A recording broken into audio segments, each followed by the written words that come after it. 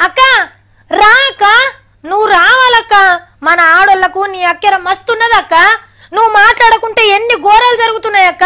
ఏడున్నావక్క నువ్వు? టీవీలు చూస్తలేవా? పేపర్లు చదువుతలేవా? ఏమైందక్క నీలో ఆ పౌరుషం?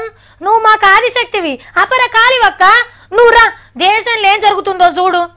ఇంతకీ ఎవరిని పిలుస్తున్నాడో తెలుసా? మన తృప్తి దేశాయక్క.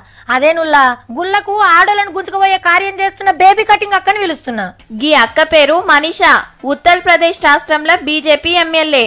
అయితే మొన్న గీ ఊర్లకు పోయి పూజలు చేసింది. గంతే ఎమ్మటే గంగాజలం తీసుకొచ్చి శుద్ధి చేపించిర్రు ఊరి పెద్దలు. ఈ అయ్యవారు చేస్తున్నది కూడా గుడి శుద్ధి చేసే కార్యమే.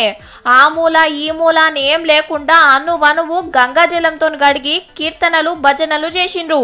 ఈడికే ఊకోలే. దేవుళ్ళ విగ్రహాలను కాశీకి పంపిండట ఆడ శుద్ధి చేపిస్తందుకు. ఎమ్మెల్యే పూజలు చేస్తే తప్పేముంది? అంటురు కదా వాళ్ళకది అది తప్పేనట. వందల ఏండ్ల కిందట కట్టిన ఈ గుడిలకి ఆడోళ్ళను అడుగుపెట్టనియరు ఇంతవరకు ఎవ్వరు లోపలికి పోలేదట. ఎమ్మెల్యే అక్కకు తెలియక పోయింది.